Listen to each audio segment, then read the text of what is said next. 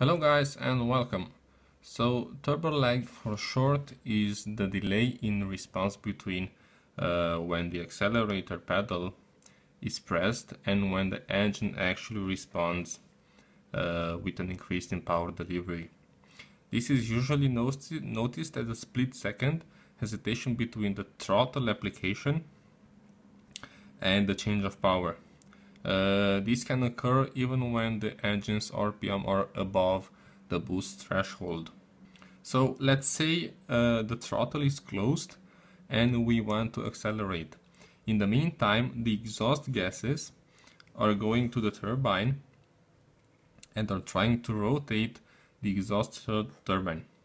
Uh, because the exhaust turbine is connected uh, to the intake turbine, the exhaust fluid will have to overcome the mass of both turbines so the turbine is not yet spooling. So now you accelerate. More gases, uh, more exhaust gases will go to the turbine which will lead to a bigger pressure uh, and because of that more fresh air will come into the system creating boost. All this process takes time and that's why we have a turbo lag. In, in short terms, when not under full load, pressure within the turbo uh, is released in order to reduce possibility of damage to the turbo itself. When the throttle is applied, uh, the, the turbocharger needs to rebuild pressure uh, with the exhaust gases before it can produce full boost and power the engine to its full performance capacity. So turbo lag is caused by the inertia required to spool the turbo to the required boost pressure.